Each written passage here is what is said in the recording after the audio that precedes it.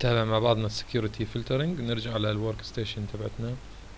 حكينا إنه ما بدناش حل ال block inheritance وبدنا حل منطقي آه، يريحنا من هذا العناء ويعملنا filtering لتطبيق ال GPO على الناس.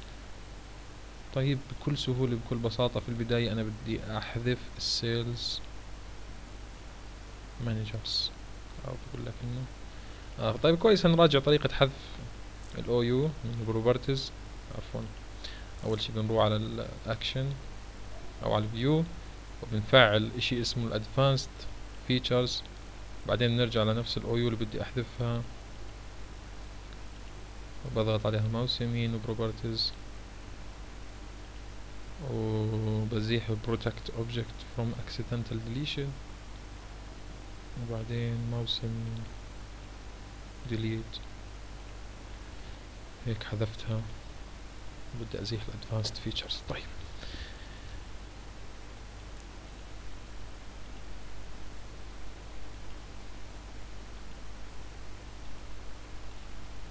قلنا ال GPO ال sales GPO مطبقة على كل هذول.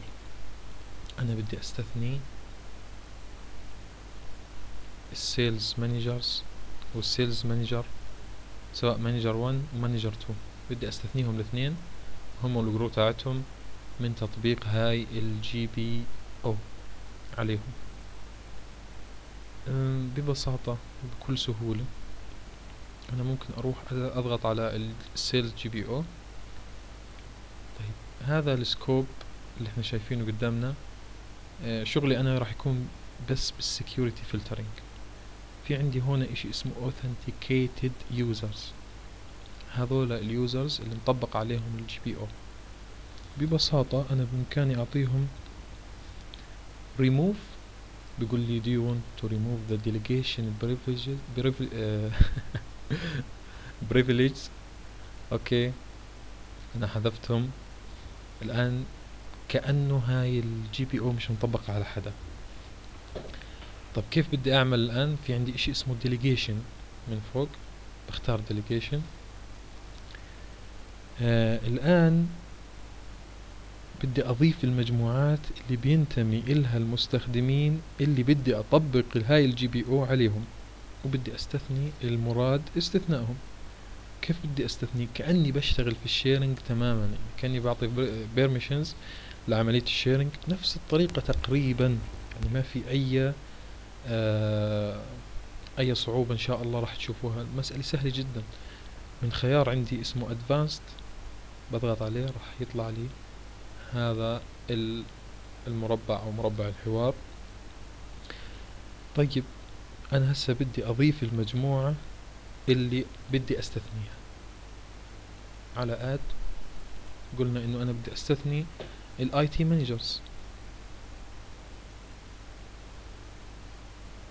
هاي مجموعة ال IT managers okay أنا هيك ضفت ال IT managers لاحظ ال IT managers ال managers ماخذين ماخذين read read لهذا ال GPO. لا أنا بدي أعمل deny okay. هيك عملت لهم. deny all لهذه ال GPO. بضغط okay. بقول لي أنت متأكد من هذا اللي أنت سويته؟ yes أنا متأكد. الآن هاي ال GPO مزبوط مربوطة على ال sales. ومزبوط إنه جوا ال sales في هذول المستخدمين لكن بإضافة ال sales manager ال group على ال filtering أنا استثنيت sales manager 1 sales manager 2 من إنه يطبق عليهم هاي ال GPO الجائرة في حقهم والتي تمنعهم من تغيير آه، شاشة ال desktop تبعتهم كونهم مدراء ولهم الصلاحيات الكاملة في إنهم يغيروا شاشة ال desktop تبعتهم. بتمنى إن شاء الله تكون الأمور سهلة وواضحة. للجميع بإذن الله تعالى. طبعا حتى تتفعل هاي ال GPO أنا أول شيء بعمل gpupdate هذا الأمر اللي تكلمنا عنه. حتى أضمن حقي في تطبيق هذه ال GPO مهما كانت المشاكل اللي في وجهها. بعطي مسافة وبعديها slash force enter لأن هو بيعمل updating لل policy. بستنى على الجهاز شوي. بقول لك user policy update has completed successfully. والآن على الكمبيوتر. كذلك الحال computer policy update has completed successfully. الآن اتطبقت هذه ال GPO الآن آه، أنا بدي هاي ال GPO اللي أنا طبقتها تنتشر على كل ال domain controller الموجودين عندي على ال network. في حالة إني يعني مشغل ال domain controllers بكل البساطة يعني أمر مهم جدا بس لازم إنك تحفظه لأنه بيجي عليه أسئلة كثير وأنا شخصيا إجاني عليه أسئلة في الامتحان إجاني حوالي سؤالين على هذا الأمر اللي هو REP admin slash sync all. أمر سهل وبسيط. هذا الأمر بيخلي ال domain controllers تعمل synchronization اللي هي اللي سميناها ال replication اللي هي بتخاطب بعضها وتشوف التحديثات اللي صارت.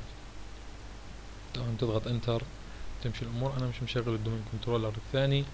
لذلك أنت بتشغل ال domain controllers اللي موجودين عندك على ال network وبتكتب الأمر الأولاني gpupdate فراغ backslash force بعديها rep admin فراغ slash sync all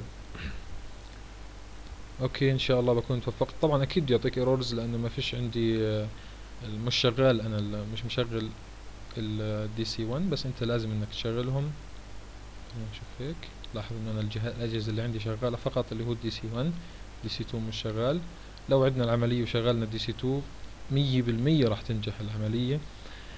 بشوفكم إن شاء الله في التسجيل القادم بإذن الله تعالى. بشوفكم على خير. إن شاء الله تكون الأمور واضحة و clear. السلام عليكم ورحمة الله وبركاته.